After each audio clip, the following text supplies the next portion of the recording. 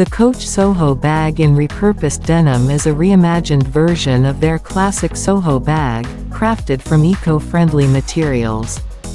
Description: Coach Soho bag in repurposed denim. Made from repurposed denim garments that are lovingly distressed for a charmingly lived-in look.